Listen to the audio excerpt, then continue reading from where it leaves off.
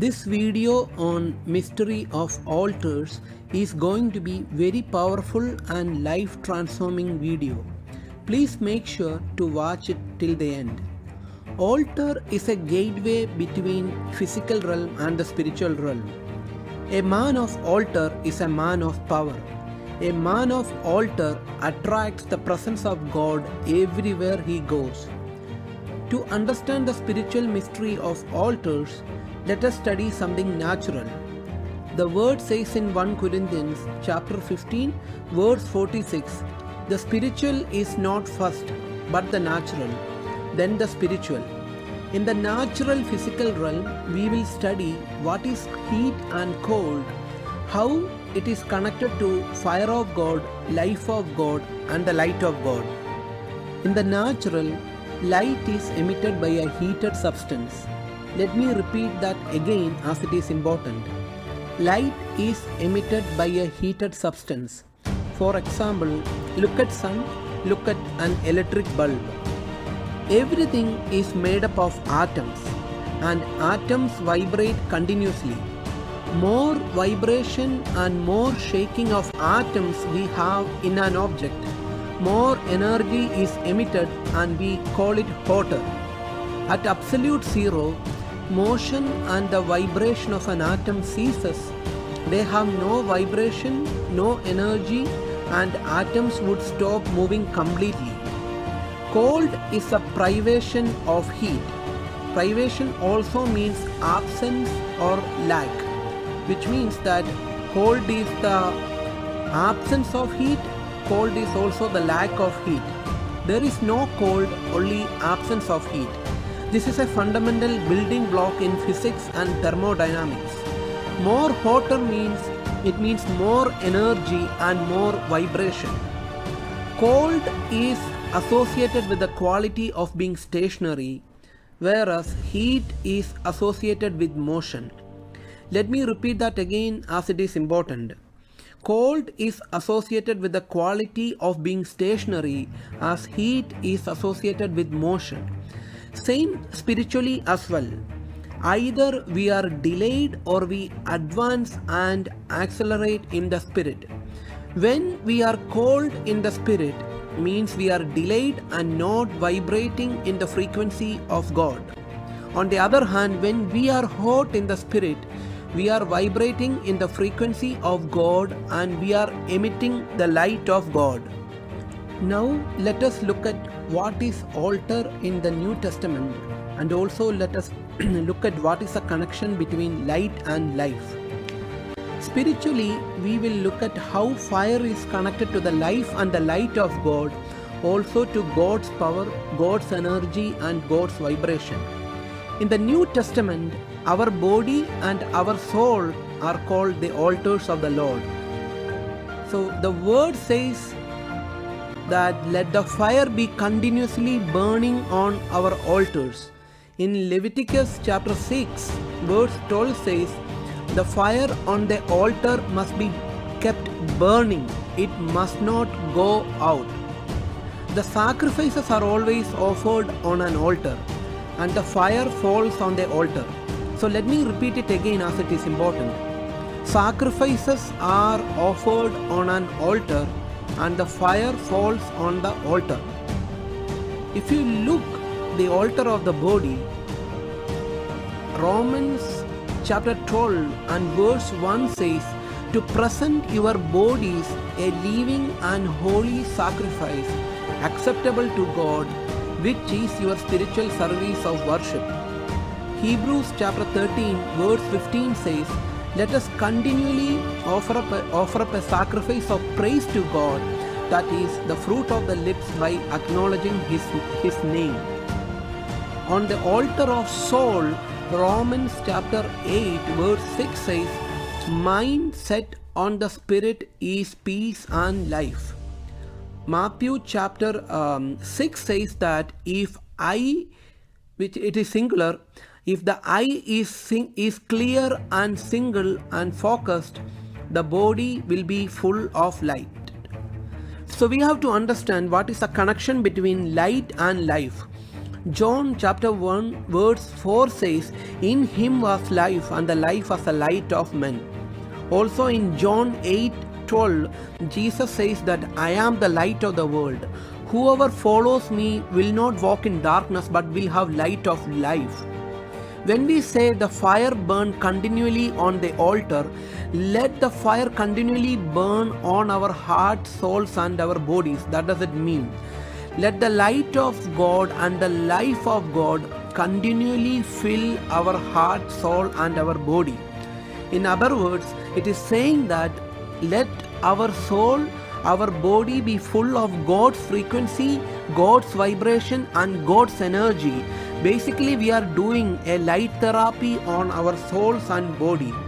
In the natural or the physical realm, the light is used to treat muscle pain, skin treatment, etc. Then, how much more the light of God can transform our soul and body? How, how we make sure that the fire is always burning on the altar? So, there are four keys. The first key is spending quality time in the secret place with God. Second key is saturating in the Word of God. Third key is prayer. And the fourth key is praise and worship. So these are the four keys which always make sure the fire is always burning on the altar. So let us break it down. So first let us look at spending quality time in the secret place with God. Our God is a consuming fire. Daniel chapter 7 verse 10 says that a river of fire was flowing coming out from before him. Revelation chapter 2 verse 18 says words of the son of God who has eyes like a flame of fire. Psalms 97 verses 3 says like a fire goes before him and burns up his enemies round about. Ezekiel chapter 1 verse 27 says, The appearance of his loins and upward something like a glowing metal that looked like fire all around within it. And from the appearance of his loins and downward, I saw something like fire, and there was radiance around him.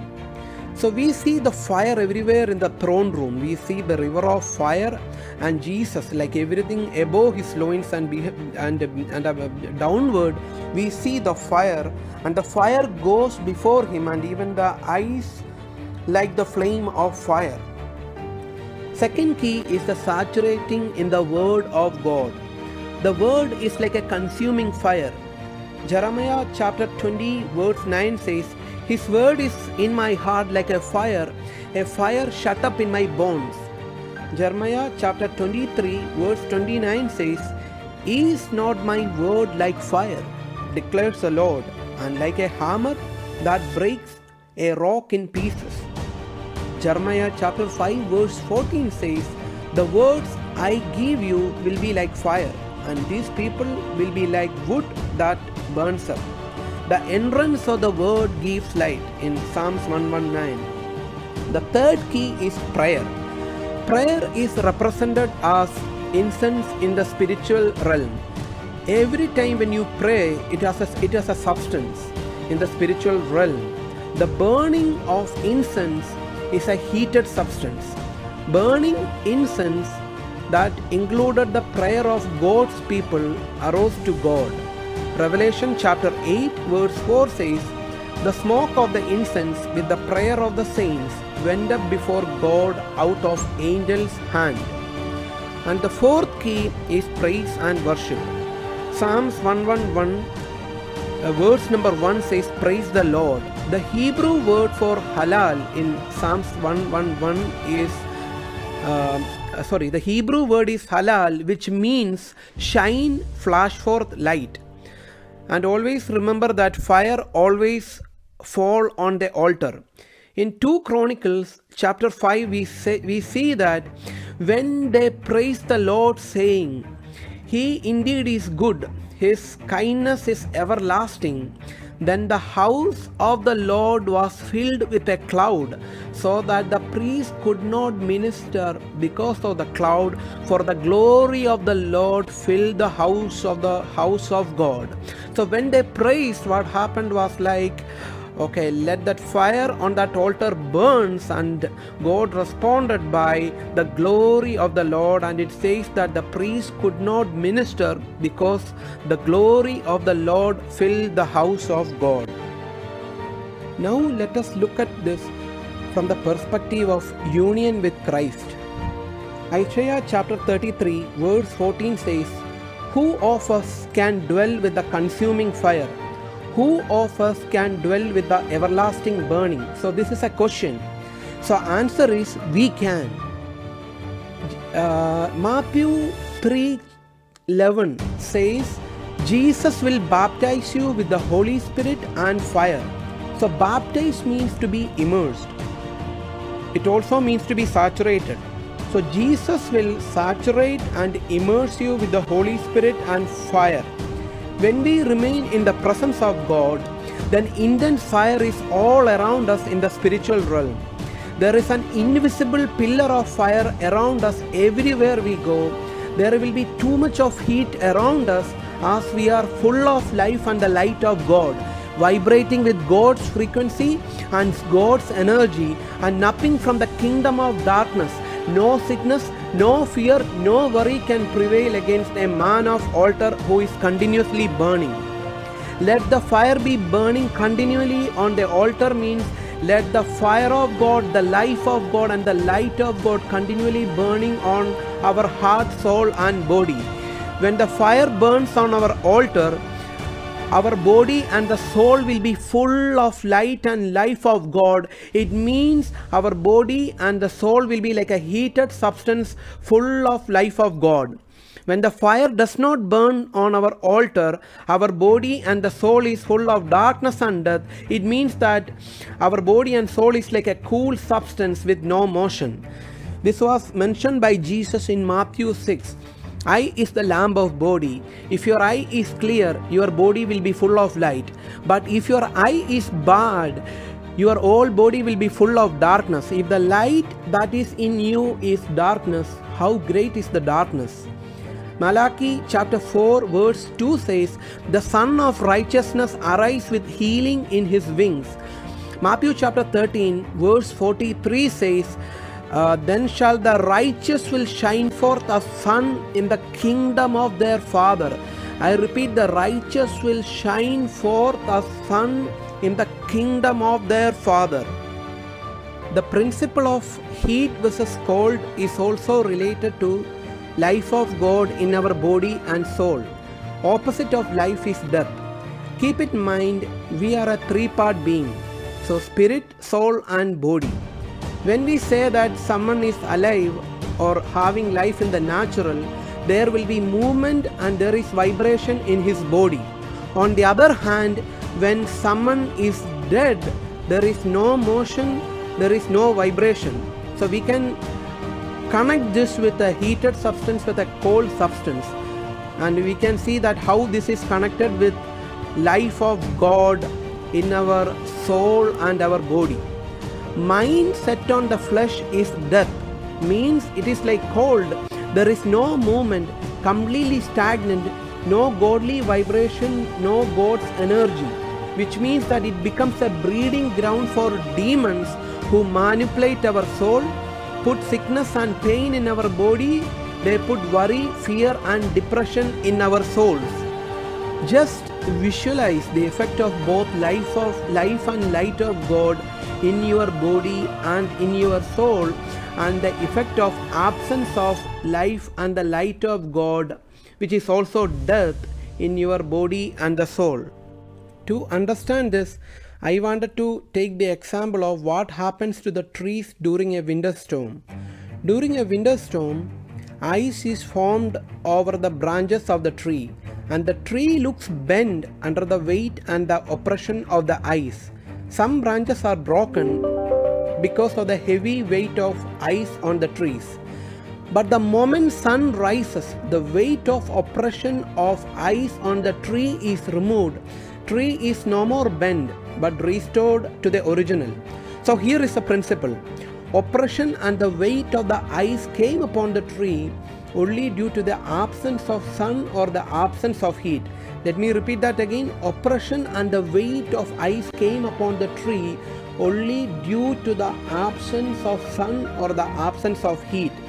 Same principle remains true in the spiritual as well. When our body and the soul is not filled with the presence and the glory of God, oppression of the enemy touches our body and soul. The moment the sun of righteousness rises on our soul and body, oppression will be melted away and disappear. Our focus should not be on the oppression and demons, but our focus should be on the Son of righteousness, Jesus Christ, who is our life and who is our light. Mountains, mountains melt at the presence of God. Just like in the natural, when the sun rises, the oppression of ice melts away, the sickness and pain in the body, fear, worry, and the depression of our soul will be completely dissolved and melted away by the heat of the fire of your altar, which represents the mighty presence of God. Judges chapter 15 14 verse uh, 14 says that the spirit of the lord came upon samson and the ropes that were on his arms were as flax that is burned with fire and his bones melted from his hand. Bones melted by the presence of the spirit of god. When our body and the soul are saturated in fire life and the light of god no sickness and pain can exist in your body Spend some time meditating on the deep truths in this video. So let it sink in deep into your subconscious and deep into your heart.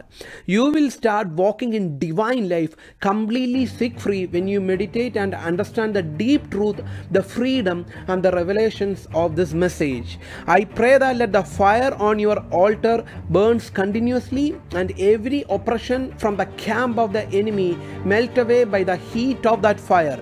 If you like this video, please subscribe and share. God bless.